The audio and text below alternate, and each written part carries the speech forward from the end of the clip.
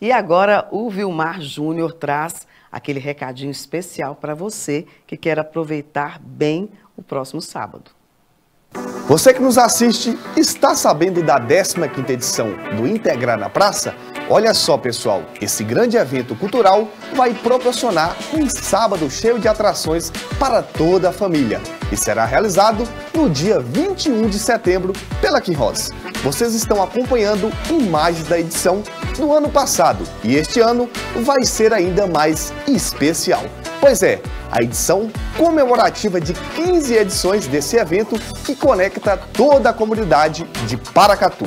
Ao longo dos próximos dias, a gente vai falar mais sobre as atrações do Integrar na Praça, que está realmente demais e contará com uma série de iniciativas que vão englobar cidadania, cultura, educação, meio ambiente e muito mais, como barbearia itinerante, levantamento em saúde bucal, aferição de pressão e teste glicêmico, oficinas de brincadeiras para as crianças, contação de histórias, teatro, oficina sobre como se portar em entrevistas, cadastro de currículos, jogos sobre o meio ambiente e muita música boa, com direito à Banda Nacional Surpresa.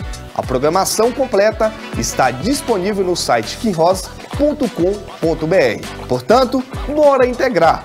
Anotem na agenda para não perderem a 15ª edição do Integrar na Praça. Olha só, dia 21 de setembro, das 2 da tarde às 8 da noite, no centro de Paracatu, perto aí da antiga prefeitura.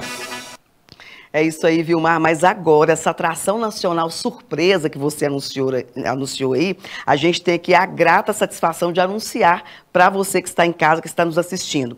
É uma edição especial como essa, né, a 15ª edição do projeto Integrar, do programa Integrar na Praça, merece, portanto, uma atração como a banda Pato Fu, que já está se preparando para estar aqui conosco em Paracatu, fazendo aquele show maravilhoso para o público paracatuense e também de toda a região, não é mesmo? Então, no dia 21 de setembro, das 14 horas até as 22 horas, né, das duas até as 22 horas, portanto, porque as atividades vão ser finalizadas ali por volta das 8 horas e depois a gente tem, portanto, as atrações musicais, muita música boa, finalizando com a banda Pato Fu, que estará de volta, né, porque ela já se apresentou na cidade e o show promete muitas emoções. Vale a pena conferir.